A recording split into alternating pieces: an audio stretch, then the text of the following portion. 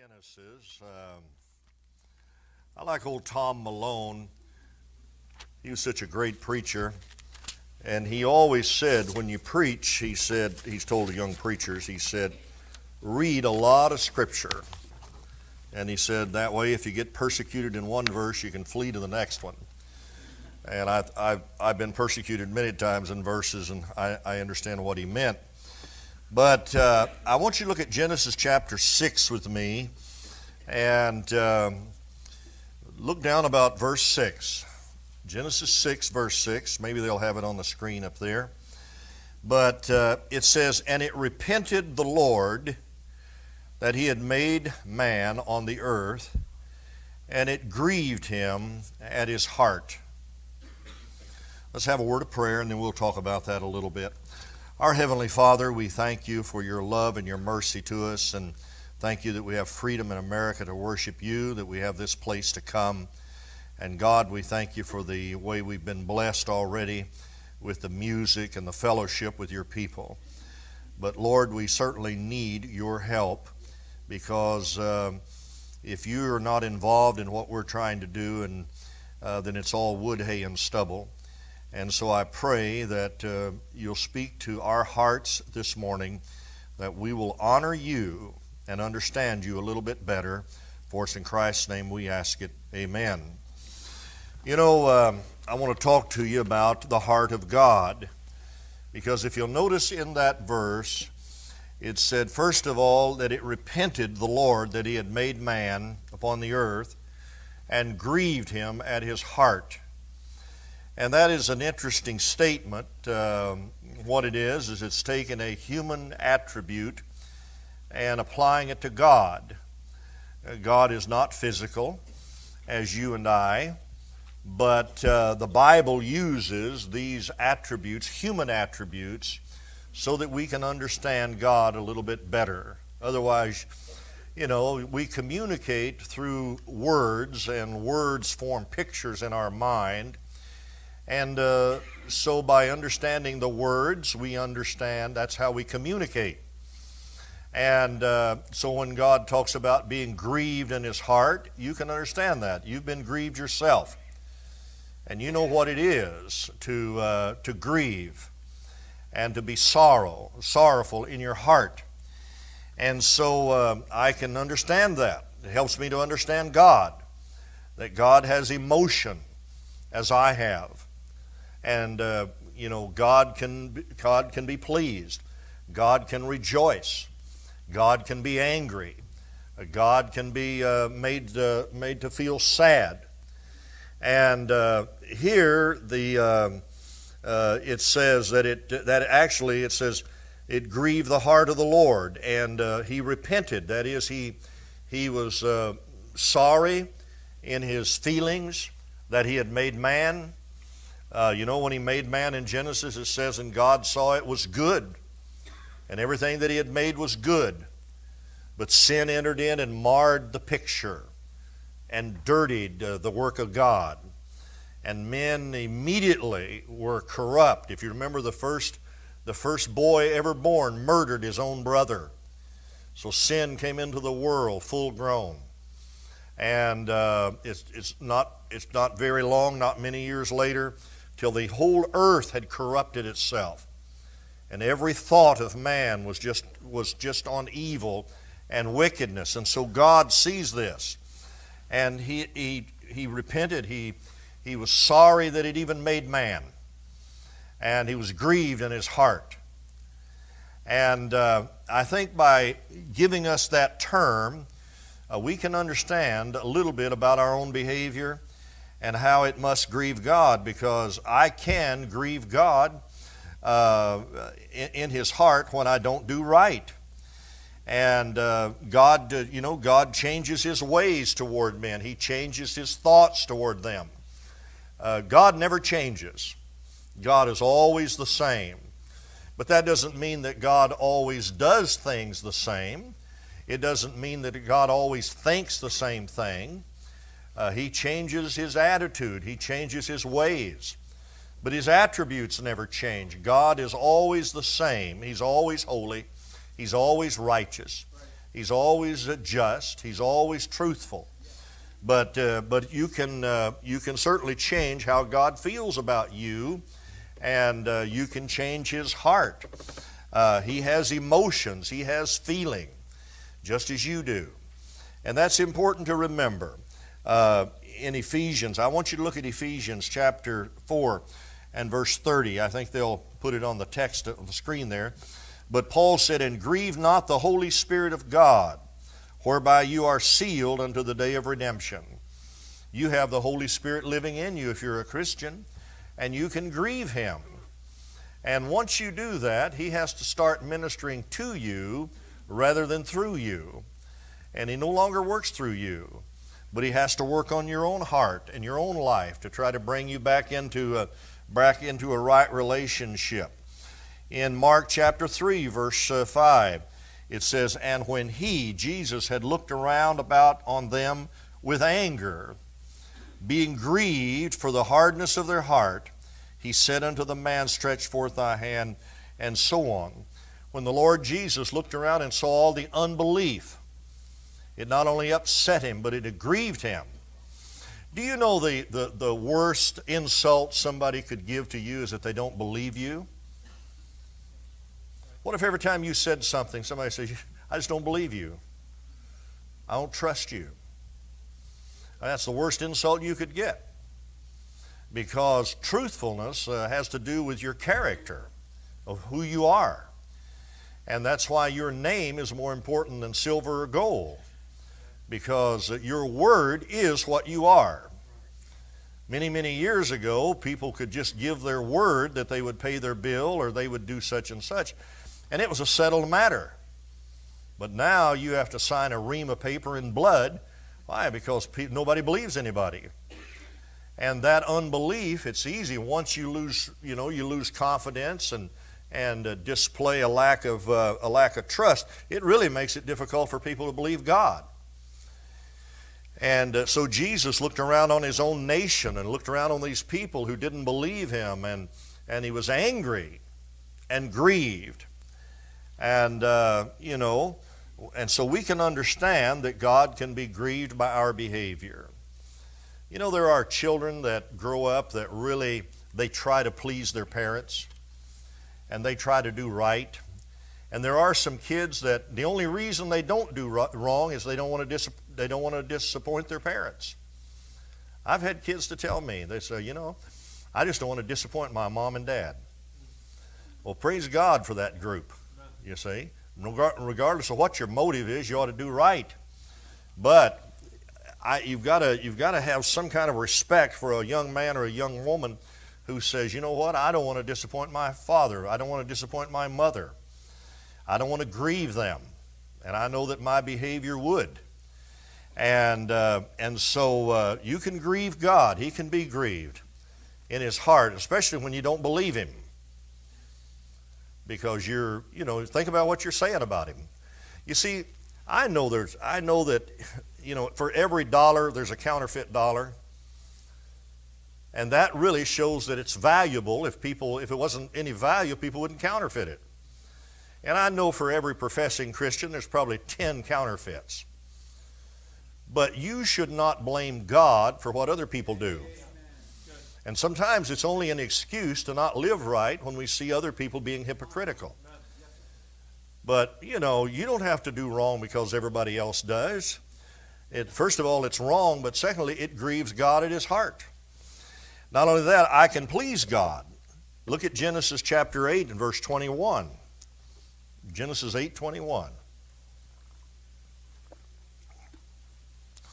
It says, And the Lord smelled a sweet savor. And uh, the Lord said in his heart, I will not again curse the ground any more for man's sake, for the imagination of man's heart is evil from his youth. Neither will I again smite any more everything that liveth as I have done. So here you can see uh, an attribute of God is that he can be pleased. And he, there are things that he can enjoy. And, uh, and Noah demonstrated that in the fact that he, that he offered an offering that was pleasing to God. And we please God when we worship Him.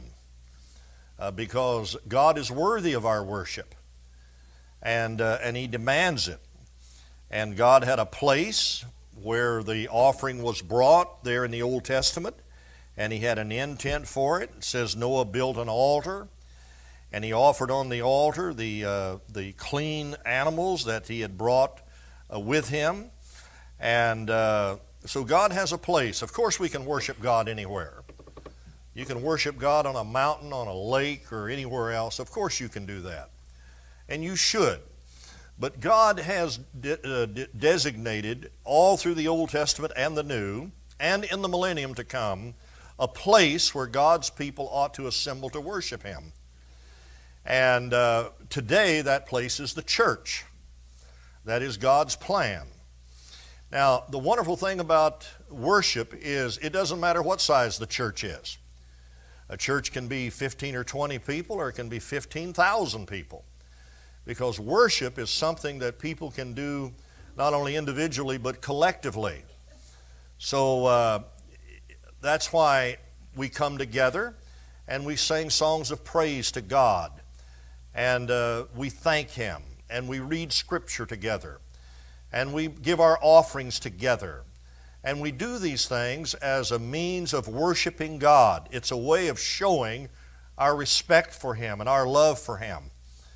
Uh, that's the way we do it. We show that we should do that collectively as well as, you know, when you're alone, you ought to have a time of prayer and you ought to have a time of praising God. I mean, that's right.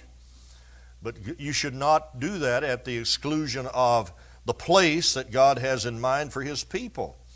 The Lord started the local church, and that is His plan that God's people come together and worship Him.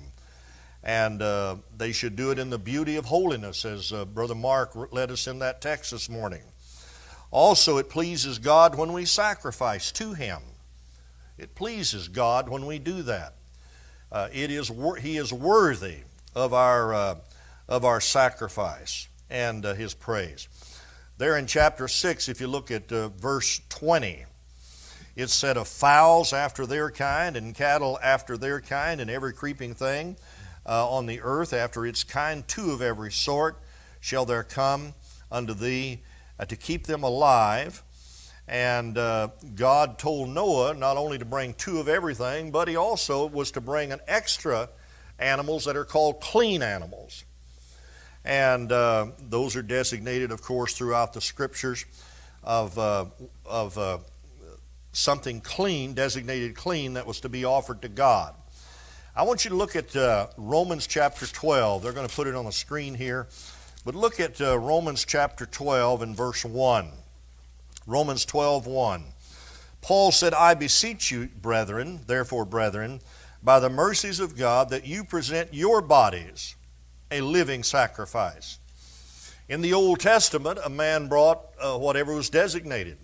Could have been an animal, and uh, but today you're to bring yourself, and you are to sacrifice yourself for the cause of Christ. Um, your body should be a living sacrifice, and that means that you give it to the Lord. You don't, uh, you know, you don't live for the devil. You don't live for the purpose of the flesh. You let God use your body. I, I don't know. Folks need to understand the Lord on this earth has no eyes but yours, no ears but yours, no feet but yours. He's not going to build a bus route. He's not going to direct the choir. He's not going to sing the specials. He's not going to run the sound equipment. He's not going to work in the nursery. God, you are His body on this earth. You're his hands and his feet. I used to have a, a family came to this church uh, many, many years ago. Uh, he was in the deaf ministry. Some of you will remember him. I think his name was Bill. Was that right? First name was Bill. And, uh, you know, he worked for the post office. And really, he was a brilliant man. But he had a, a muscular disease and his face was always distorted, and his fingers were gnarled, and, and he, he could barely walk. He walked like a monster when he walked. And I think people probably feared him and they got away from him. But the truth is, this man was honored by President Reagan and invited to meet with him. And I, I remember how frustrated he would get. He would try to mouth something, but his mouth wouldn't work. And he'd try to sign, but his fingers wouldn't work. And his mind was clear. He understood exactly what he was trying to do, but his body wouldn't cooperate. How frustrating that must be. And yet, you and I are the body of Christ on this earth. He is the head. And the head is clear exactly what he wants done. But we, many times, are like this. And we have things coming out of our mouth that uh, ought not to be coming out. And the hands are doing things that they ought not to be doing. And, and we get angry. We're frustrated. And I don't know if God is, is that frustrated or not. But you and I are His body and we can grieve him and we can please him. And, uh, you know, I, I, get, you know, I, I, think a lot of folks have this attitude, you know, you know, before you get old, you ought to sow your wild oats and then pray for crop failure. But I assure you, there won't be a crop failure. Right. You sow wild oats, that's what you're going to get back a whole harvest. Right. I find that people that are probably over 40 are trying to undo all of the mistakes and the wrong they did back there, and you can't undo it. You know, it's like a backlash on a fishing reel. I mean, it takes too long to untangle it. And what you do is you just get the fingernail clippers out and you cut it and you rehook it. But the thing, you've lost hundreds of feet of fishing line. And you, you know, the damage that you do to your life and to your body I mean, we all spend time after 40 saying, I wish I hadn't have done that. See? And I see guys, you know, that they, they love God, but, you know, really they've got brain damage. They had drugs and all kinds of chemicals put in their body, and they thought they could do it without, um, without consequences. And you can't. I just talked to someone the other day Matter of fact, somebody used to come to this church. And I can be bribed if you want to know who it is.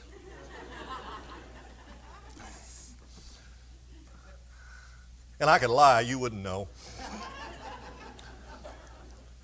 He told me, he said, I've just, I just returned from the third time with this particular family member on, at uh, detox or drug rehab. Third time around. I know people that have been three times and four times and five times and ten times and fifteen times around, and they do it again. I'll guarantee you they wish they'd have never smoked the first one, or shot the first one, or drank that first one.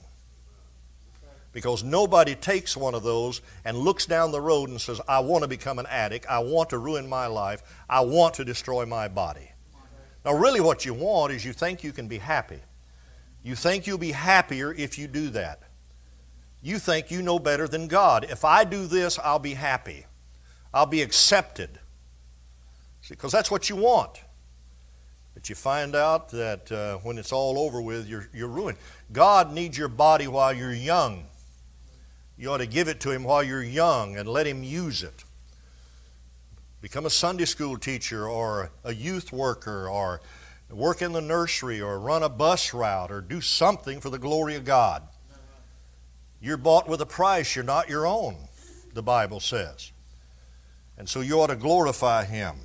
And so we please God. I don't think this really happened, but it, it's a good illustration. Preacher got through preaching saying you ought to give your body to the Lord. At the end of the service, they took the offering. About halfway through the auditorium, they noticed some commotion. A little boy, about four year old, was standing in the offering plate. The usher said, What are you doing? He said, I'm giving myself to Jesus. Well, I don't think that happened, but I think, you know, it, it's a good story. And that's what you ought to do. You ought to put yourself in the offering plate.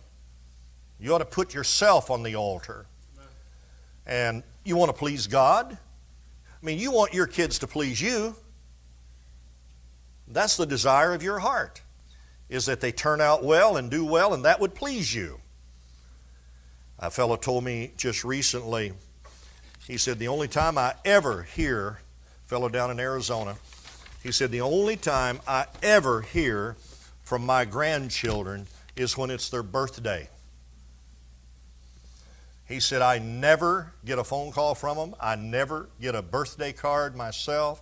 Never get a thank you note. And he said, I confronted them.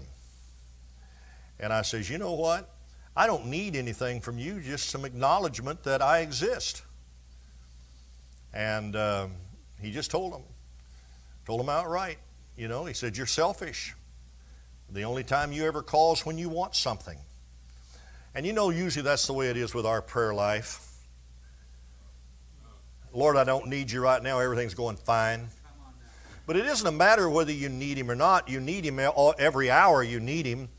But, you know, wouldn't it be okay if you just said to the Lord, Lord, I don't want anything? I just want to praise you. I don't need anything back. I just want to thank you. I want to thank you that I was raised, that, you know, that uh, came in contact with somebody who was a Christian. I want to thank you for the people you've brought into my life to help me. I want to thank you that you've provided for me. I want to thank you I was born in America, so I had an opportunity to hear the gospel. I want to thank you for my, for my family, for my mother, for my dad, for my children, my grandchildren. I mean, you don't always have to go to God saying, Gimme. You ought to praise Him and thank Him. And you know, I can find the heart of God. You know, uh, Saul, Saul was a man who, you know, he was a king outwardly, but he was not, he was a coward inwardly. And, uh, you know, God uh, spoke through Samuel, and here's what he told Saul But now thy kingdom shall not continue. The Lord has sought him a man after his own heart. Isn't that something? And the Lord hath commanded him to be the captain over his people, because thou hast not kept that which the Lord commanded thee. So, there in uh, 1 Samuel, you need not turn there, but 1 Samuel chapter 13, um, God said, I'm going to take the kingdom away from Saul. I've found a man after my heart. And I'm going to tell you what, if you will seek the heart of God, God will find you. He'll find you. And you know that's what you want in a relationship. You want the heart of the other person. You want their heart. And a lot of folks know in a marriage they've got a partner, but they don't have, it, they don't have their heart. And God said, I found somebody. I found a man, and that's here, Saul is the king, but he doesn't have the heart of a king. Doesn't have the heart for God. And uh, and uh, I think the same thing is true. You know, David was not a king, but he had a he had the heart for God. Saul had the position, and David had the heart. And God looked for a man and found him. Said he sought for a man, the man who sought uh, uh, his heart. And that means you, you're trying to get close to God, trying to know Him. You know, many of you in this building this morning, you know me in the pulpit, you know me at the door, but you don't know me. And I know you when I see your faces, and I know you at the door, but I don't know you. But there are some of you I do. There's some of you that I've been able to spend time with, a lot of time with, and I think I know your heart. I think I know this guy's heart. I think I know his wife's heart. I think they have a heart to serve God. And they have a heart for this church. And God is looking for people like that, that have a heart for it. You know how it is. A lot of people at work, they're there physically, but they're just not there. They could care less about the company or anything. They're just there to get their check. And God, uh, you know, there are a lot of people in church that way. If you ask them why they're there, they're not even sure why they're there. But God is looking for people who will look for His heart, and it can be found. Did you know the Bible said, Draw nigh to God, and He'll draw nigh to you? God will be to you exactly what you are to Him. If you want Him, you can find Him. Fourthly, God has a heart that will be fulfilled. Uh, in Jeremiah chapter 32, verse 41, Yea, I will rejoice over them. That's over Israel, the nation. I will rejoice over them and to do them good. Watch this. I will plant them in this land, and assuredly with my whole heart and with my whole soul. I am to love God with all my soul, all my mind, all my strength, all of that. So here God uses that term. He said, I will bless them with Israel with my whole heart and my soul. That's your whole being. And God couldn't, uh, couldn't illustrate it any better than that. So, really, what he's saying here is, I'll regather Israel, the nation of Israel. God said, I will regather them into my land. Now, only 50 years ago, Israel became a land for the Jews. For 2,000 years, they were without a land. And God said, I will plant them back in their land. So, regardless of what you think, 50 years ago the land was given to Israel. Israel has been settled there and occupying it, and they are going to occupy it in peace, according to Scripture. But God said, I will regather them. I want you to uh, go to the book of Ezekiel with me. Oh, they'll put it on the screen up there. Um, chapter 32. Chapter 32 and uh, verse 41, I believe it is. No, it's, uh, it's chapter 11. We just read that uh, 32. I want you to go to chapter 11 and uh, look down at verse 17. 11:17.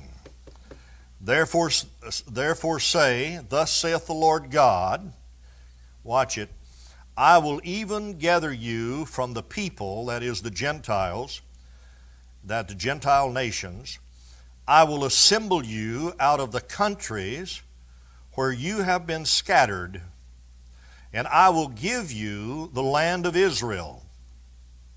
Now, that is the promise in the Bible for the nation of Israel.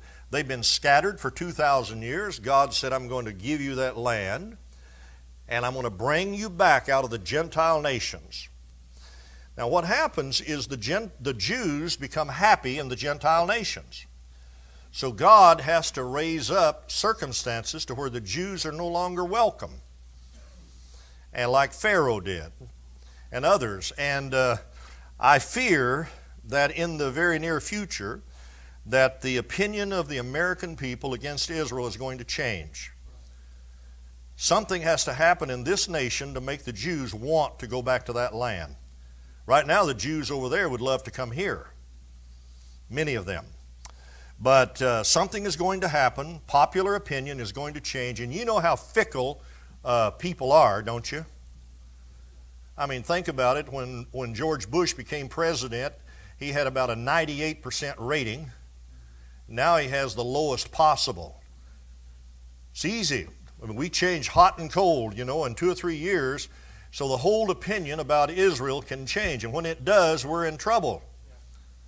But God says, I'm going to bring them back. Look at verse 18 of uh, chapter 11. And they shall come here, that's Israel, and they shall take away all the detestable things thereof and all of the abominations thereof from there and I will give them one heart. Now, this is when the nation will be converted in the land. And I will put a new spirit within you, that's Israel, and I will take the stony heart out of their flesh, and I will give them a heart of flesh. Verse 20, that they may walk in my statutes and keep mine ordinances and do them, and uh, they shall be my people, and I will be their God. In other words, God's heart is going to be fulfilled. His plan is going to be accomplished. And uh, He's going to regather Israel, and, and He will convert the Jewish people to him. Right now, do you know that many, if not most of the Jews are atheist? They really are. Many of them are communist and atheist. And uh, so the time is going to come when their heart is going to change. God will have to work a miracle to make that happen. And then God uh, has a heart that is faithful. Uh, in, in Psalm 33, verse 11, the counsel of the Lord standeth forever, the thoughts of his heart to all generations. And so the context here is contrasting the counsel of the world with the counsel of God.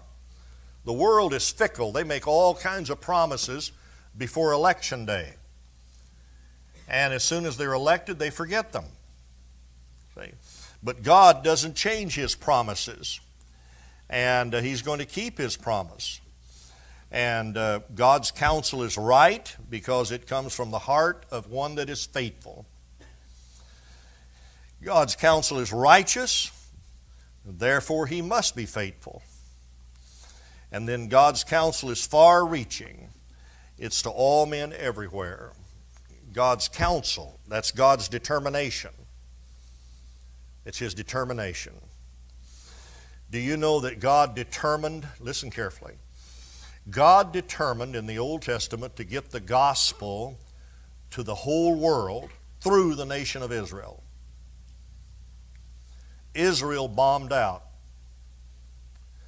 When their forerunner came, they cut his head off, John the Baptist. When the Messiah came, they crucified him on a cross. And when the disciples went out to preach the gospel of the resurrection, they killed all of them. So God started a brand new program with a brand new apostle called the Apostle Paul. God said, I am going to get the gospel to the Gentile world so people will have an opportunity to be saved. My plan is that it will become through Israel. But Israel rejected their Messiah. They didn't know him. They crucified him. And God said, I'm still going to get my plan fulfilled. And He raised up the Apostle Paul. And because of that, you are still hearing the Word of God today. But one of the days, these days, the rapture of the church will take place. We sang that song, I'll Fly Away. I kind of like that. It's a little corny, but it's true. We'll fly away when the rapture takes place. And, uh, and so God has a plan that you hear the gospel and get saved. That is God's plan. That's why we send missionaries around the world, is so people can hear the gospel. And so that is God's plan for you. Now, you and I, you know, we grieve the heart of God when we, uh, or we can please Him. You can grieve Him or please Him, whatever you want to do. And uh, because it's your choice, you have a free will and you can choose to do whatever you want to. God has granted you that. And, uh, but I don't know how you could know him and not want to please him. You know, the thing about God is the more you get to know him, the more you love him. The more you get to know him, the more you want to please him.